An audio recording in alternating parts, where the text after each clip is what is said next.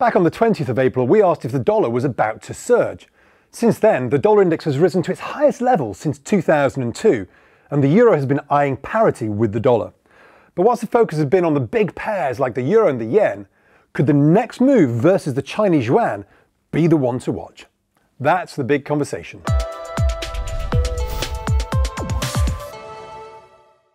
Although much of the current focus is on the US dollar's move towards parity with the euro, it really makes little difference to Europeans whether the euro is at 0.999 or at 1.001. Yes, obviously a weaker euro will exacerbate the existing issues around rising energy prices, but it's been issues with the deteriorating trade balance that have contributed to the euro's weakness. Germany's trade balance has recently gone into negative territory for the first time since 1991. German electricity prices have recently surged to another record high, on concerns that the annual shutdown for maintenance of the Nord Stream 1 pipeline will become politicised, with risks that the pipeline might not reopen on schedule. Energy infrastructure issues have been persisting for some time. The previous spike took place before Russia invaded Ukraine. And we've discussed weakness in the yen before. We should expect the yen to weaken as long as the Bank of Japan remains committed to its yield curve cap of 25 basis points on the 10 year government bond. The US dollar versus the yen has recently touched its highest level since 1998, which was a period of extreme emerging market currency volatility. Longs on the dollar versus the yen still have to factor in the asymmetric risk that the Bank of Japan walks away from its yield curve cap. In that scenario, yen should gap higher against the dollar, whilst JGB yields should also move higher, pushing up other global yields at the same time. But for now, the Bank of Japan appears committed to their extreme policy, but this remains a significant risk for global markets. Whereas the move in the euro is largely a byproduct of other forces, such as the energy crisis and the related inflationary shock, emerging markets can be outright vulnerable to a stronger US dollar. This could add additional pressure after many emerging market assets, especially in the fixed income space, struggled to digest the surge in US benchmark yields during the first half of 2022. The emerging market bond ETF has dropped below the 2020 low. Within China, many of the fixed income instruments of the indebted property companies have come under continued pressure. The KraneShares Asia High Yield Bond ETF has made new lows, even as we've seen a rebound in the domestic Chinese equity market. Many emerging market corporates have significant US dollar denominated debt. And these positions are like having a short dollar position, because these companies will eventually need to pay back their debts in dollars.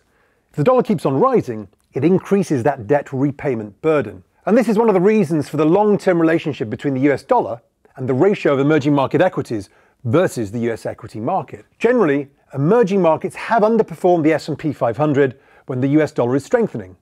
When the dollar is weaker, emerging markets tend to outperform. And this has indeed been the case for much of the last decade, although in recent months emerging markets have managed to hold their own despite recent US dollar strength. But whilst most of the currency focus has been on the DXY, which is primarily the euro and the yen, broad-based emerging market currencies have been testing the lows again. Many of the commodity exporting LATAM currencies have also been under pressure, and this is why the Chinese currency becomes a pivotal player. The Chinese authorities let their currency weaken versus the US dollar and other currencies earlier this year. It has recently been in a consolidation phase. If other major exporting blocs like Europe, Japan, and Korea are seeing currency weakness again, China's policymakers may not want to be left behind and lose that competitive edge. The next move from China, therefore, could be key for global risk assets. A weaker yuan could exacerbate the recent move and add more downward pressure, despite many assets now getting into oversold territory. And US authorities may be relatively happy with current events. Unlike previous moves higher in the dollar, which threatened global growth, such as we saw between 2014 and 2016, the Fed have shown little interest in dampening down the move this time. A stronger dollar could benefit the US consumer and smaller family run companies by helping to reduce imported inflation. Additionally, if the stronger dollar takes some of the sting out of the commodity market, that could also help to reduce some of the price pressures. And for much of this year, commodities and the dollar have risen together, but that's not the usual long term trend. Normally, a stronger US dollar would have a dampening effect on commodities. That has often also had a dampening effect on global growth, as it did between 2014 and 2016, when a surging dollar led to a global industrial profits recession. Today, price is more important than growth. So a stronger dollar has far more benefits today than it did in 2015. And a stronger US dollar today may be a more acceptable way to tighten financial conditions compared to higher bond yields or wider credit spreads. High yields in particular have already had a major influence on driving other asset prices lower. Inflation, however, is not yet under control. The latest release will be after we film this episode, but 1.1% month on month, if that materialises, is an unacceptable level for the Fed. And inflation is a lagging data point, so we might need more economic weakness before we get a real lid on inflation. And markets are not yet priced for that level of a growth slowdown. Of course, the US dollar is getting stretched on most metrics, and the euro has already attempted a bounce off that psychologically important parity level.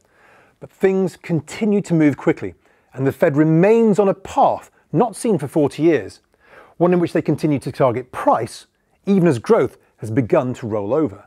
And the Bank of Japan appear determined to cap yields, and the Eurozone and Europe as a whole will continue to struggle to find alternative energy sources for much of the foreseeable future. Even though the dollar is stretched against both, the dynamics for the US dollar remain relatively favourable. Therefore, what will China do? Most likely, they'll go with the flow. If China's currency weakens further, then other Asian currencies will follow suit. The US dollar versus the Korean won has already broken out. When the Korean won weakens significantly, it's often at a time when the VIX surges, because a weaker Korean won reflects a worsening outlook for global growth. In April, we suggested calls on the dollar as a hedge for risk assets, but currency options are a lot more expensive today. Perhaps the big move is still for volatility of volatility in the equity market. The VIX is at fair value, with implied volatility at similar levels to actual market volatility. But volatility of volatility has fallen significantly because this has, so far, been an orderly decline in the equity market. If China lets its currency go again, we might get a disorderly move in the dollar and a more emphatic decline in the equity market that could be marked by a surge in both the VIX and the volatility of the VIX that has so far been absent in this market. In the next section, I talk to LSEG's Dewi John to look at some of the trends in fund flows and how recent activity has, if anything, been counterintuitive to the performance of the market. Fund flows is one of the sort of key elements that um, investors really like to look at to understand kind of what's really driving markets. Uh, could you just maybe explain you know, what it is that you're looking at and why it is that these sort of fund flows and flows in general are such an important barometer for markets? Well, Lipper has been providing fund analytics, uh, performance and flow data for about half a century. Now, uh, I'm focused on the UK market, but we're also, obviously, this takes place in the context of um, global markets. Um, and it's really giving us a, a, a good insight into investor sentiment, both in terms of longer term, but also there's a lot of noise in the market at the moment. I'm looking at one month after another and going, you know, a lot of this makes no sense and it only becomes clear in the longer period. And which of the, you mentioned the UK, which of the funds that you particularly focus on in terms of getting your, your kind of information and, and the sources that you have? Predominantly mutual funds and ETFs, which is where the mo most of the, uh, the fund assets are. We also look at pension funds and uh, insurance funds and some hedge funds, but really the main focus for me is uh, mutual funds and uh, ETFs. And those are, is it the flows in the UK context, or is it flows from UK companies that, that you're focused on? It's not looking at domicile because a lot, lot of what UK investors take on are obviously domiciled uh, either in Ireland or in Luxembourg. So we're really looking at um, currency of record being sterling and registered for sale in the UK. And that gives you really, there's nothing exact about this, but that gives you the best picture of uh, what UK investors are buying. So, so going into the context now of, of the actual flows themselves, and if maybe we split up the sort of the, the history, recent history into two parts, sort of 18 months up to March and then post-March. The best-selling asset class over uh, uh, 21 was bonds, despite the fact that uh, performance last year, as with this, has been none too impressive. My best guess with that is what we've seen there is institutional investors basically top up their accounts as uh, the values of the fixed income uh, portfolios have fallen. Over um, uh, 21, up to March as well, and possibly a little bit further beyond, the best-selling asset class or uh, has been uh, within equities has been global equities. And for UK investors, what we've seen them do is uh, abandon domestic equities and uh, get into global. So this is this is the UK kind of all types of UK investors are basically saying we want out of the UK domestic equity market. Yeah. We're going to go out into the broader world. Do you think that's because they were overweight in the first place, and it's been uh, dealing with that overweight. Up until the end of last year, it's been a performance issue very much. I mean, UK equities have underperformed for a very long period. They've been a pariah asset class um, since the Brexit referendum, if not before. Uh, this year is quite surprising because obviously UK equities, particularly UK blue chips, have strongly outperformed other global markets really until uh, until June. And we've seen uh, international investors start to dip their toes back into UK blue, blue chips, but that hasn't doesn't seem to have made any difference for um, UK investors. We've seen two billions worth of outflows so far in uh, UK equities by UK investors. In, in June alone, and that's quite unusual. That's a, that's a heavy flow. If someone had asked me recently where you'd have thought the flows going in, it would be value areas, value indices, places like Australia, places like the UK, which is big on mining, big on you know um, the oil companies which have done well. And yet, even when the outperformance was there, you still saw net sellers of that. Yes, absolutely, with the UK market. And uh, as I said, international investors um, are, are, taking a nibble out of the UK market now, but they're, by no means this year have they, have they gone, oh, look, value driven performance, energy stocks, fantastic, let's get in there and fill our boots, which you might expect. It really hasn't happened. It's been incremental, whereas UK investors have largely gone, no, as they've done for uh, years previously. So it could potentially open up, I mean, assuming that you know, we stay in this world of value over growth, and obviously there's so many moving parts to that. But if we stay in a, a world which is largely expectation value outperformance, it could be an interesting place for people to go because it's been basically sounds like one-way traffic of selling, even when that, that value factor has been outperforming. Yeah, yeah, very much the case. Um, over the past month, we've seen uh, growth rally a little bit, uh, and it's outperformed uh, value, but that's no by no means a done deal. So the, the market's doing a lot of flick-flacking at the moment. As I said, I'm surprised that um, international investors in particular and UK investors uh, to a degree, just tactically to take advantage of this, haven't responded in uh, more decisively than we've seen. And do you feel that um, you know you're seeing these sort of moves within the equity space? There has been this sense recently that um, investors got very, very bearish in terms of their, their sort of tone. But some of the sort of position surveys suggest that people have actually held on to equities. They haven't rotated en masse out of equities. They've got very, very negative on equities.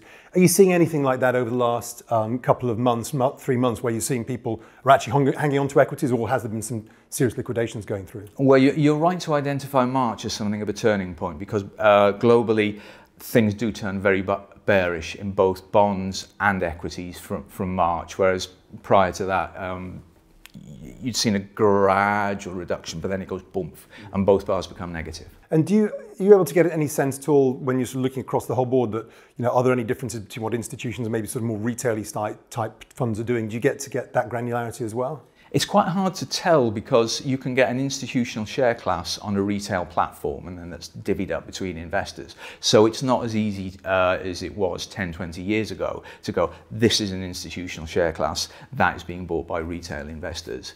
Um, uh, other than, as I said, just speaking to people in the market and getting the sense of where the particular interests are. And then I guess finally within all of this, you know, as we, not really looking forward, because obviously we're looking at fund flows, but do you get a sense from the, the client base of of any apprehension at the moment, any sort of feeling that you know, we, we, you know, we've had inflation, we're talking about growth, potential recession.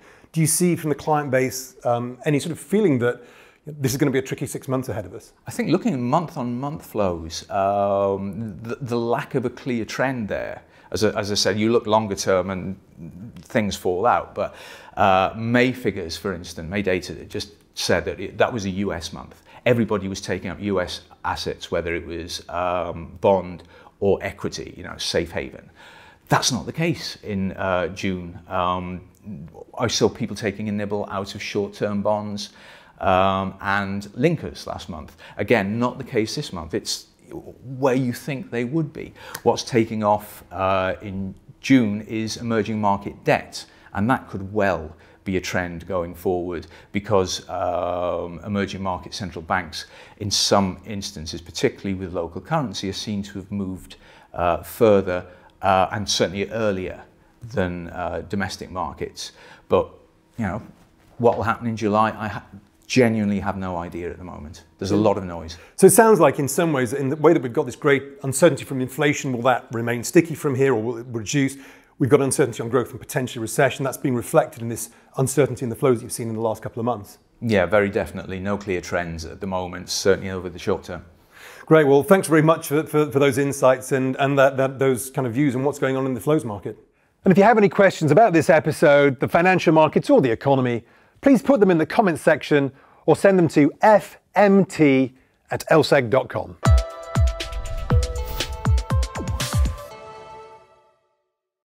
Yeah.